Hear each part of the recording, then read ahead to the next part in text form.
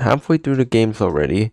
This video will be the week 3 tier list for Metaverse Champions games. And without further ado, let's get started. Our first game is Bakon. Yeah, this is a piggy ripoff type game, you know? Its event, it's really bad. I'm putting in trash. First, you have to complete four different rounds, and they're on different maps. So there's like one crystal on one map, and then same thing with the other three. And I had to do this in really small servers or server hop just to get the right map because you needed the four maps and people will vote other maps, not the ones that you want. Next, we have balls. I'm putting this game in annoying. The reason why is that first, there's competition. So you have to make it to the top of the balls and then whenever an AJ crate drops from the sky, you have to press E or click on it 20 times. And yeah, that's not that hard. I just use an auto clicker. But this thing is really annoying because you have to climb all the way up. And if there are more than 1,000 balls or maybe 2,000, then it will just take a really long time to go up. Now we have Build Island. I don't find this game very fun, but I'm just gonna put in average just because it doesn't take that long. You have to go on five different people's islands, touch an AJ crate. Some of the islands, some people put freebies, but a lot of the time people make you work for it and I really don't want to work for something that's in an event. Next we have Build It. This is a building competition game, kind of like, I, I guess you could call it like build battle game, where you build something based on the topic and then people vote. Obviously, you can rig the vote and you might get banned from their game, but I don't really care. I used two to three alt accounts in order to get this one. So I'm putting it annoying just because it's kind of biased. It's just all subjective. You're not guaranteed to get it. Now we have Clicker Realms X. In this game, you have to open five different eggs. And the last one, the last egg that you have to hatch is probably the hardest. It takes like some 50 billion or so click. And I'm just going to put this game in slow. It took maybe like 15 to 20 minutes. And I'm pretty sure there were codes that gave you some pretty good, like maybe OP pets. So that definitely sped it up. On to Dread. In this game, you have to shoot down a zombie wearing the AJ crate on its back. But that's pretty much all you do. And of course, there's RNG into that. And whenever there's RNG, I'm putting it in annoying. It could go in slow, but the thing is, the spawn rate of zombies with the crate is still quite low, and I find that annoying. Now it's Infectious Smile. This is like that monkey game where there are the humans and the infected, and if you step in a puddle as a human, you become the infected, and humans have a bat infected just have to grab onto the humans. So you have to get either three kills or fully infect three people. I think the points are shared, which means you can get two kills and one infection. But the thing is, getting either of them is quite a pain. So that is why I'm putting this game in average. But the thing is, you only need three and there's no RNG involved. Next we have Rage Table Arena. I'm gonna put this game in average. This event is actually really, really fast. All you have to do is go in shift lock and then spam all the tables. You're just going to get easy knockouts like that. And you need 10 knockouts, which is hardly anything. If you spawn camp, it's already fine. So this game, it's not necessarily fun, but it's fast. So I'm putting in average. Next we have Sinking Ship. This game is quite buggy. But I mean, it's kind of fast as well. If you're on the good ship, I think it's the, the crew one, I think. The crate is in a noticeable spot. I found it whenever the ship was tilting, and luckily the water doesn't kill you, so this game is not awfully bad. Now we have Super Golf. In this game, you have to finish a round of the Islands map. Each round can last a long time. So this game, I'm just going to put in an annoying just because of how much you have to wait in order for the round to finish. Plus, you have to do it on a specific map. That map might not be there to vote for, and people might not vote for it. Now I have Weapon Kit. This is a shooter game. You can either play in third person or first person. You have to place first, second, or third on a round. And for me, I'm really good at FPSs. So, well, I'm not that good, but I'm decent at FPSs. So I'm putting this game in average. I mean, they didn't really try for the event, so I really can't put it in enjoyable. Now we're on to Fei Yoshida. Our first game is Ant Colony Simulator, and easily this game is going in trash. First of all, this game's like Bee Swarm Simulator except worse. They make you do like what feels like 10 quests, and these get like super, super grindy, super long. This game took an hour for me, and a lot of it you can just AFK, plus it's a walking simulator. Now on to Big Bank Robbery. Despite its title, this is actually a story game, so I'm putting this game in enjoyable. Of course, a good storyline deserves to be an enjoyable, and although it was part of the main thing, they added a little bit extra of a boss fight. So yeah, this game is pretty fast, so it's good. Now we have Break-In. In this game, you had to go around and then talk to Faye, and then you had to spray five different graffiti marks. So I'm gonna put this game in enjoyable. This is definitely fast and easy. Plus, it just feels normal and natural. We're on pacer test. What you had to do in this game is walk all the way down to the principal's office, which takes around 30 seconds. And then you have to dodge the lasers and you just walk through them, maybe jump at a few places.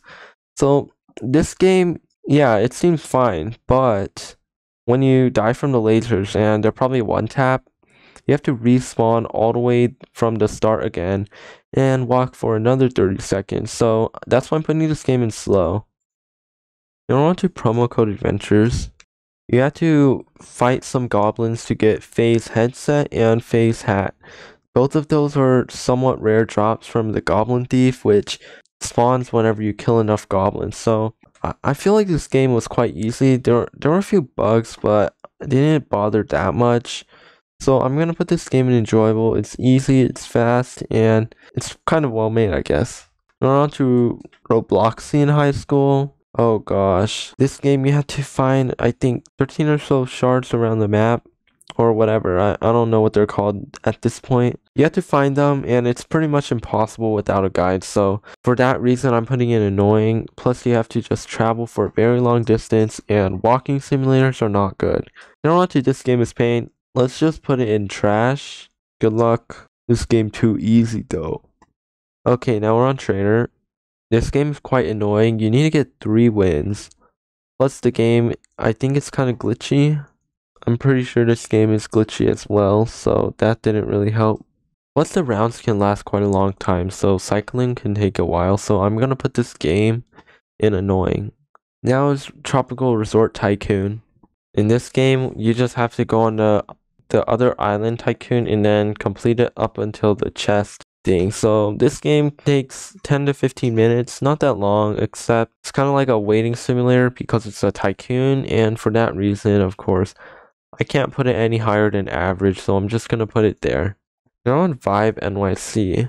This is another dancing game like TTD3, but I would say this game's a lot worse. First, when you join the game, you just realize it's super, super laggy. I'm pretty sure it's because of the UI. I checked the micro profiler, and what you had to do was find quite a bit of crystals, maybe 20, and they were at whack locations, so this game definitely took quite a long time, so I'm to put it in annoying. Other than that, the second part was actually quite good. Now we're to Water Park. You have to collect 10 buoys or those rings, and then you return them to the pirate guy. And after that, you have to pick up 4 gems or so from 4 different colored rides. It was pretty self-explanatory, I guess and I could figure out without a guide, so I'm gonna put this game in average. It's definitely not trash. Now we have Wizard Cats. This game I'm just gonna put in annoying. This game's like Mech Warzone, so it's high effort, but the thing is, they just slap in a trash requirement like level up five times, and leveling up in, in this game can take quite a long time, so this game took me maybe one and a half hours. Now we're into Sparks Kilowatt. And first we have Arcade Island 2. This game is also quite laggy, probably because of the lighting. And I'm just gonna put this in slow. If you don't have the skill to do what I did, the vault, then you have to rely on RNG by rolling the wheel. But otherwise, I did the vault. I can reach like 80s, and most of the jackpot amounts are lower than that. And the jackpot is 1000, so you can get it on first try. Now on to Azure Mines. I'm gonna put this game in slow. Because if you have progress in this game like me, it's it's super super easy. Or if you don't, then mining will take forever and getting down to around Y100 and lower just to find some rubies or you can just mine at the surface for some rare amethysts but then it will take forever to mine. That's just slow, I guess. On to Banana Eats. In this game, it's kind of like Survive the Killer, and so you have to survive from the banana. You have three lives, and whenever you lose a life, you get a few seconds of invincibility, and you, your walk speed gets increased. So it's really easy to escape the banana. Plus, you have to get maybe like seven purple bananas in order to complete the mission, and that's not that hard. So, this game, I'm just gonna put this in slow. Definitely can be hard, but it's not that bad. Now we're on to Bigfoot. This game, I'm just gonna put it enjoyable. The mission is clearly labeled, which most games in the Metaverse Champions event aren't. So that's already a really good sign. Plus, all you have to do is get 300 damage on Bigfoot, and Bigfoot has maybe like a thousand health. So 300 is not that hard. Plus, you can do it between multiple rounds. Now on to Egg Hunt 2021 Enchanted Eggos. This is the unofficial egg hunt for this year, and undoubtedly it's going in Pog tier. I think we can all agree on this. This game definitely looks high effort, and it is. You can double jump, plus the entire storyline is well thought out. There's voice actors for Sparks and other things. It's just well made. Now we're on to Egg Simulator, and unlike Egg Hunt 2021, this game's just awful. I'm putting it annoying. You have to collect 200 rubies and 1000 eggs, so that definitely takes a long time. Maybe like 30 minutes for me. Plus 1000 eggs. If you have a magnet, it's not that hard. I have no idea where I got it from though. But if you don't, good luck. Now we're on to Fairy Tale Life Roleplay. This is like Roblox High School, but like kind of like Royal High-ish. So, what you have to do in this, I'm just gonna put it enjoyable. I mean, it's a roleplay game. All you have to do is get a C or above in all your classes, and that's not that hard. Now we're on to Invisible Beast. In this game, you have to kill the beast, and then it will drop a thing. But the thing is, the beast is somewhat invisible. What I mean by that is that if you see the beast moving, you can see its outlines and how it kind of distorts its background. So then you can shoot at it. Of course, the rounds are awfully slow. Plus, if you die, well, good luck waiting for another round. Now on to Overlook Bay. What you have to do in this game is do several tasks in order to get the pet to max level. So that took quite a long time. So I'm gonna put it in slow just because I don't really play Adopt Me much, so I don't know the standards for these types of games. But I'm sure people would say it's slow because I definitely think it is. Now we're on to Rage Runner. Oh boy, good luck. I'm gonna put it in annoying. You have to reach the end of the rounds. Of course, it's a Rage Runner. If you die, you respawn at the start kind of like Tower of Hell. These type of games definitely will make you angry. You're onto Slipblox. Oh boy, I love this game so much. I'm just gonna put it enjoyable. It's not good enough to be in Pog tier, but it's definitely really fun. So you can push people, and I like pushing people and, and trolling in these funny games. So other than that, what you have to do for the event is you have to pick up maybe five or so parts. I'm probably wrong on that, but you have to do on a specific map, and they're at pretty noticeable locations. Maybe not the first one, but the other ones are along the path. The event is I don't know, but like I like the I like the play style. In order to Tower Heroes, this game definitely goes and enjoyable. The event was definitely well made. You got the Sparks hero, which is extremely OP. Plus, in order to beat the boss, all you really had to do was spam max level sparks and just sell them, rebuy them once they went out of range. Easy win. Now we're on to red. So our first game is Arcade Empire. In this game, you have to grind a bit in order to get $500 and then you have to buy the rent chest and wait for 10 spirits to come in. So yeah, this is, I mean, I'm putting it enjoyable just because the grind isn't that awful. But otherwise, if it wasn't like that, then I would definitely have put this in something way lower. In order to Broken Ragdolls, this game was kind of buggy. Sometimes some of the platforms you would just fall through. And I think that was like really annoying. But other than that, it was just pretty annoying. So I'm to put it in annoying. Plus, if you choke, you lose your opportunities and you have to be the first person to reach the end. Now we're on to Faab's difficulty chart obby. You have to collect, oh boy, more shards and crystals. At least these locations weren't that awful, so I'm gonna put this game in average. It didn't take that long, but otherwise it's not something I was looking forward for. Now on to Journey to the Sun. I really don't get how this game has a high rating, but anyways, I'm gonna put this game in average. It's really, really quick, maybe 5 minutes at most. Plus, it has friendly respawn points. Now, on to Limited Simulator 2. And what I can say about this game is that it's definitely really good. You can skip the quest, and it just has a lot of meme characters, so I'm gonna put this game in Hog tier. Now, on to Monsters of Etheria. I really didn't like this game's event. So, basically, you had to collect five or so different things around the map. Plus, they were at some weird locations, so without a guide, this would also be pretty much impossible. That's why it's going in annoying. Now on to Obby King Remastered. This game, I'm just gonna put it in POG tier. I like playing the game itself, but the event was fine as well. So, you had to collect five crystals. You first had to talk to Wren though, and Wren would show you where they are. If you know where they are, then you don't need a guide. Maybe if you're really bad at navigating, you might need one, but I really didn't need it myself, so this game's going in POG. In order to Road to Gramby's. This game is definitely high effort, but the problem I have with it is that it's just kind of weird, so I'm going to put this in annoying. Also, you have to drive all the way to the temple, which can take maybe 5 minutes, but what I did is that I had an all that I could teleport to. Other than that, inside the temple, people might fight you, plus it's not easy. Now on to Roplanes 3. In this game, you had to you had to fly to this one island and then pick up five shards. And then you go through the waterfall to claim your prize. So this game is not that bad. I'm just gonna put in slow, but the thing is, I had to use like one of the fast planes or the ones that look fast. So I used a bomber. It reached really high speeds, but even with that, it took quite a long time to get to the island.